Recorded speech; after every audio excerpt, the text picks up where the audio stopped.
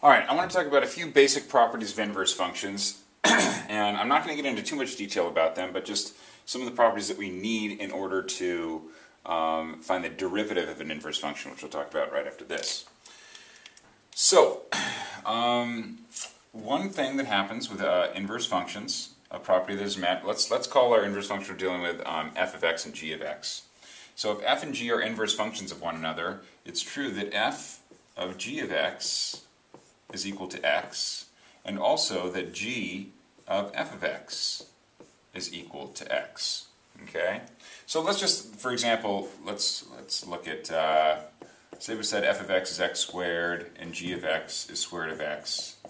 Two functions that are inverses of one another, okay, on the interval from 0 uh, to infinity. So if, if they're inverse functions, they should meet this criteria right here. So let's just check and make sure. So f of g of x, that means you take g of x and put it into f of x. So take g of x, square root of x, and put it in to, uh, for x in the function f of x here. So um, f of g of x would be equal to, take square root of x, put it in for x in there, so it would be square root of x squared, which square root of x squared is equal to x. So this is met right here. Let's check this one. g of f of x for this one, we're going to take f of x and put it in to x where we see, uh, in, in the function g of x where we see x. So it's going to be square root of x squared. And square root of x squared is just equal to x. So, yeah, it does, uh, you know, meet this first criteria here.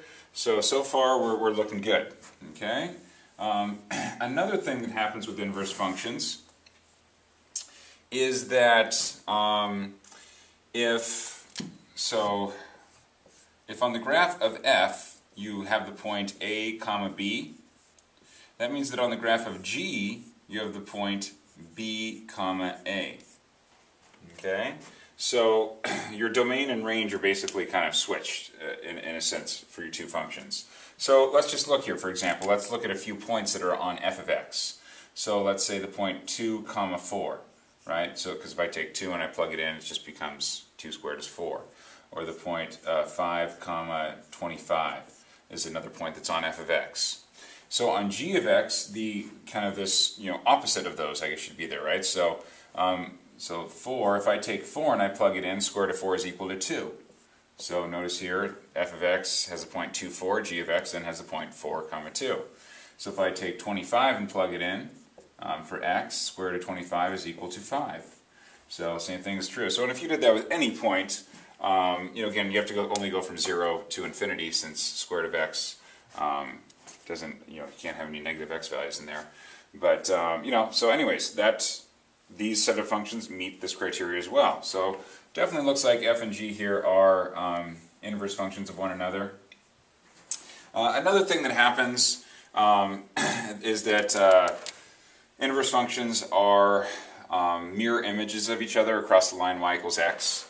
So I'm just going to draw that out. This isn't necessarily going to help us with our derivative thing, but just thought I'd mention it. So y equals x squared, if I just start from 0 and go out, looks something kind of like that. Square root of x, if I start here, looks like this.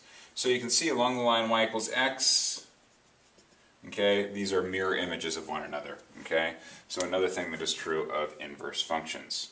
So when we're talking about the derivatives of inverse functions, we're definitely going to have to use both of these to help us out in just a moment here.